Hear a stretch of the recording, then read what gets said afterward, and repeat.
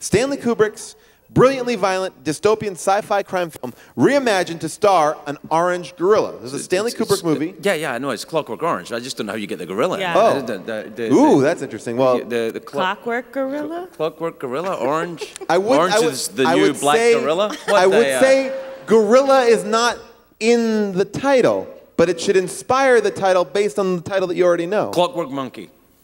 Clockwork. Gonna give you an Meow meow. Yes. Clock, clockwork orangutan. You got it.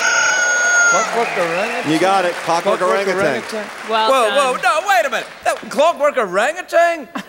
orangutan, orange, they don't even sound like each other. That's crazy. Like, are you just like taking any, any answer at all? Then it's fine.